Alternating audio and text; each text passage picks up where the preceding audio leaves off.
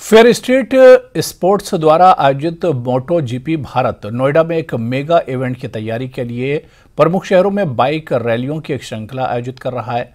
इस, इसी तरह रविवार 30 जुलाई को अहमदाबाद में दूसरी बाइक रैली आयोजित की गई। वायोकॉम 18 और नेटवर्क 18 इन योजनाओं के मीडिया पार्टनर हैं। विशेष रूप से Moto GP premier class motorcycle racing event है, जो अग्रणी निर्माताओं द्वारा बनाई गई विश्व स्तरीय प्रोटोटाइप बाइक पर सबसे कुशल सवारों की मेजबानी करता है। सीज़न 2023 अब तक की सबसे बड़ी श्रृंखला है, जिसमें 13 देशों में 21 दौड़ों की मेजबानी करेगी, जिसमें भारत में ऐतिहासिक चौदहवां दौर भी शामिल है। भारत में मोटो जीपी प्रशंसक पूरे सीज़न को जियो सिनेमा और स्पोर्ट्स एटीन पर लाइव देख सकेंगे।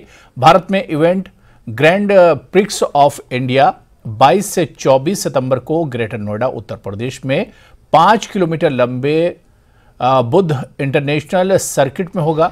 फेयर स्ट्रीट स्पोर्ट्स के पास भारत में मोटो जीपी के अधिकार हैं और वो भारत दौड़ का आयोजन कर रहा है। ये उत्तर प्रदेश सरकार और सूचना एवं प्रसारण मंत्रालय के लिए एक रणनीति कार्यक्रम है।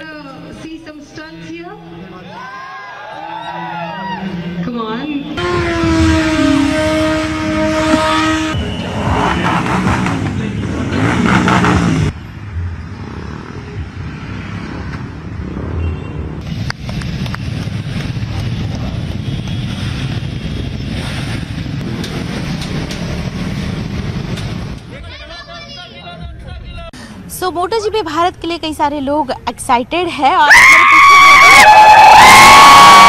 ये सारे लोग खास तौर पे आज मोटो जीपी भारत को लेकर के यहाँ पे अहमदाबाद है। क्या कहेंगे? आज कितना एक्साइटमेंट है आपको? So actually, this is very first time for me to have in this very big event. तीन चार बार पीटी गया। अच्छा। अभी रिसेंटली मैंने उमलिंगला जाके आया सोलो जाके आया। जो सारी लाइव कवरेज है वो आप जियो सिनेमा और स्पॉट्स 18 पे देख सकते हैं।